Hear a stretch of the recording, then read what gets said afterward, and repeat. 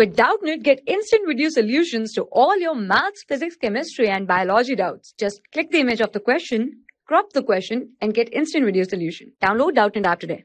Okay guys, let's start this question. x is between minus 1 to minus 1 by 2. Then we have to find that the sine inverse 3x minus 4x cube. Right, we have to find the value of this. Okay, so we already know that in the NCERT it is given that 3 sine inverse x is equal to there are set of value in which it is lie that is sine inverse 3x minus 4x cube which is if x is between minus 1 by 2 to 1 by 2 right?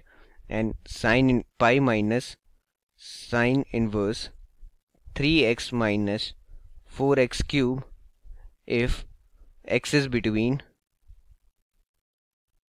1 by 2 to 1 and if minus pi sine inverse 3x minus 4x cube if our x is between minus 1 by 2 1 to minus 1 by 2 right?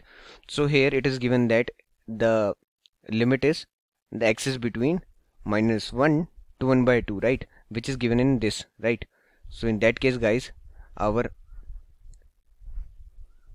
equation should be going to be 3 sine inverse x is equal to pi minus sine inverse 3x minus 4x cube.